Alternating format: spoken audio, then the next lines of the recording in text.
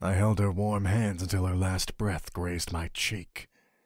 How the life in her eyes faded into the abyss.